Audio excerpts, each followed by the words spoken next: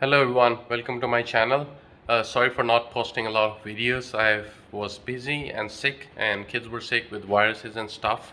But I'm doing the timing belt on my MK4 and I didn't post the whole video about the like how to do the timing belt. There are tons of videos online which are fave much much better than how I would do. But there is a problem in MK4 timing belt when you're doing it that everyone is kind of facing if they are doing it for two second time or the third time. Let's see what is that.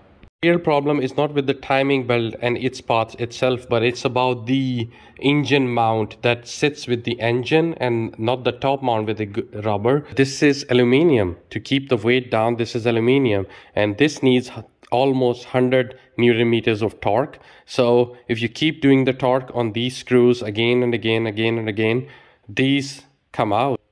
So all of a sudden you're done with the timing belt and you're putting this back, putting all the screws back and then the this and the threads get stripped. So you put this in and then you do the 100 nanometers and then you see like, okay, this is not, this is just free. And when you take it out, there are all the aluminum threads on, uh, on it. So I've cleaned it almost, but there were like threads already on it. So these two are almost damaged. So now I need to repair them. There are several ways to do it. Some people say like, for example, this is 12x 1.5. That's the measurement on these boards. Length, I don't know. I think it's 68 millimeters, but it's 12 into 1.5 millimeters. Um, that's how you, you have the threads and uh, that's how you have sizes. So there are two ways, for example, three ways, two, three ways you make this bigger because you cannot put the 12 into 1.5 again in this one even if you make the threads. That's um, yeah that's another guideline and another story. So you can take it to 14 into 1.5 then you drill it to for example 13 and then make the new threads which are 14 into 1.5 but then you need to find the new boards of the same size but the threads and the diameter should be 14 into 1.5 which can be hard or which can be easy. But that way is one way. Other way is the helicoil way. So you uh, buy a helicoil kit. They keep it a trade secret like what this tap is. So you put the new threads in with this one. I don't know how much is this one. This is their trade secret. That's why they don't tell it so for example, maybe this is 13 into 1.5 or 14 into 1.5. And then in those threads, this helicoil goes in. And then in this helicoil, these older screws can go in because this inside is 12 into 1.5 millimeters outside you can measure but they don't tell but you can measure by yourself the threads on the outside and inside will be 1.5 but the diameter inside is for sure 12 but outside you can check or you don't have to but then you put these ones in but here i have a problem either i buy like the bigger ones because this is small and I need two of these or the double of this. Um, it's tricky if I want to put two in. So then the threads should match in a way that the screw can go in easily. This is what I'm trying to do. I will put two of these in, uh, in, in like this, in this one, and then put the screw in. So that's what I'm trying to do. This is cheaper from Amazon for $20. There is another one which is called that everyone is talking about. I don't know the name. The the expensive one that is like hundred dollars. So, but I'm a cheapskate, so I'm using this one. This is just $20, 25 dollars. So I'll and then I'll show you the steps. so You need to make the bore, the hole bigger with this one. Then you tap with these threads. Then you put the helicoils in, and then you put the screws in. So let's see if this works and if this method is stronger enough to hold the engine. So remember that these bolts and this is going to hold your engine weight so it is quite a lot of weight so you need to be careful. In the material that you choose and the way you work so you need to be careful or your engine can fall down while you're working. I'm taking a risk but i'm thinking that this is metal helicoil. This cannot break. If this aluminium can handle the weight of the engine so this iron threads that goes in combined with the aluminium this should hold so let's see, fingers crossed. Let's see how you do it.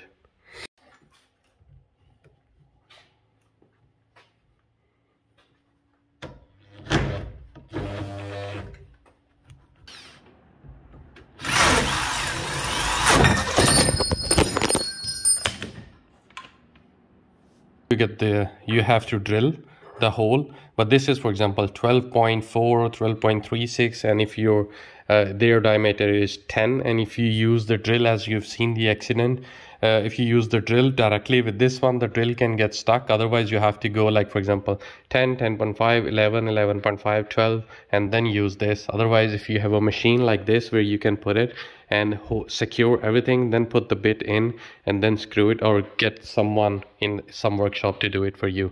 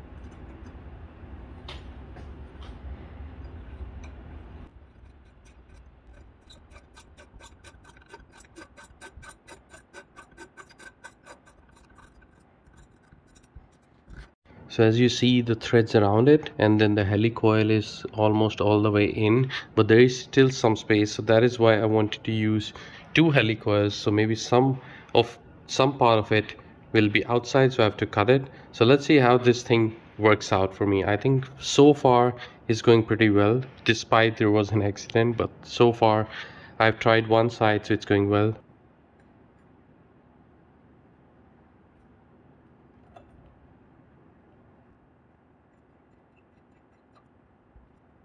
so now you can see there is one helicoil that is in the bottom. It's all way all the all the way in. And then the other one is kind of where the first one ends. And I've tried to put it now the, all the threads up till the end looks smooth. So there is no problem in the screw going in. So I've checked when I put the screw it goes all the way in so that is for sure that it's going through the first and the second helicoil. So that means this is a success. So i broke the the edge on the first one but the second one that is too deep. I didn't break it. So now i will cut it off from the from the top here and then put the bolt back in and show you guys like if this is a success. So i did cut the helicoil here. It's a bit uh, ugly from here but if when you put the screw in so then you can see that the screw is going all the way in how it's supposed to. So this is a success.